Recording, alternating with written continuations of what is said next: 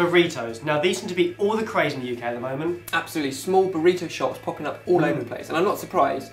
Moreish handheld snack Gorgeous. food, awesome grub.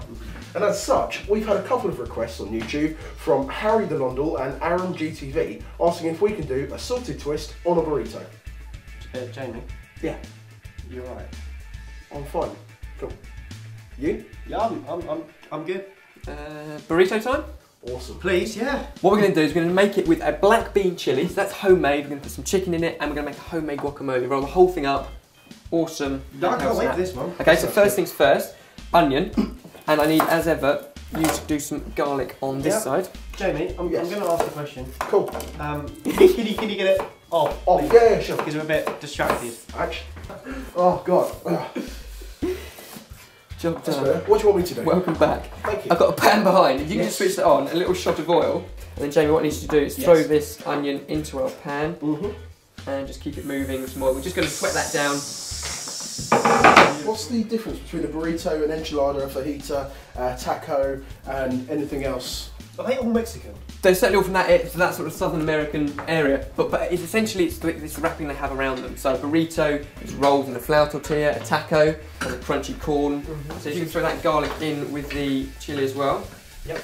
So then into our uh, chili mix, we've got the onion, we've got the garlic. We're going to add some dried oregano, a teaspoon of cayenne pepper, which is where the spice comes from, and salt. And now that our onions are cooked, I'm going to add in our tomatoes as well. So it's just a tin of tomatoes.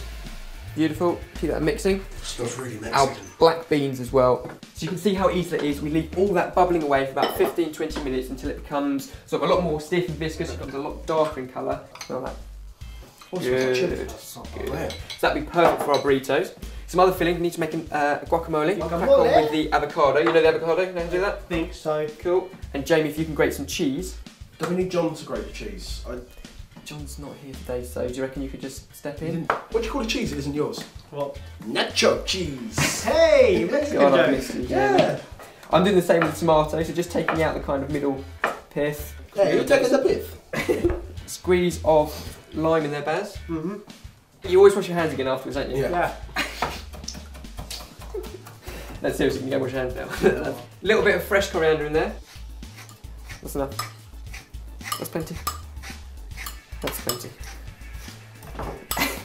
so there we've got our guacamole, we've got our black bean chili, cheese, we've got some pre-cooked chicken, which we can roll into that as well. And I've also got over here some rice, which I've just cooked off to put into our burritos as well. So what we really need is a quick clear down, we can start rolling these all up. Oh, the fun bit. Yeah. Yes, the rolling, the construction. So it's about putting enough in so that you've got a hearty, good, substantial meal, Mm-hmm. but not so much that you can't roll the things. Meaty.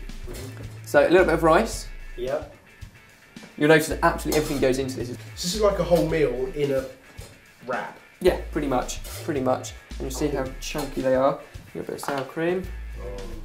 And the key here is to fold in the edges. Single Fold in the edges so that the bits Yeah. don't fall out. Right. And then over, Yeah. Oh, that's a great technique.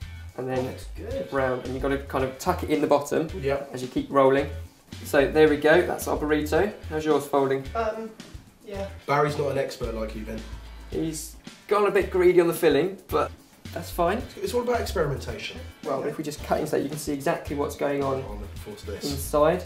There's so much going on inside of there. Oh. That's exactly what we're after. Look at that. Oh, that deserves a Mexican way. It does. Hey! Amigos! So, to wrap up, here we have a burrito for Harry the Londle and Aaron GTV. A fantastic moreish Mexican snack, sorted. Do you want to taste some of my burrito?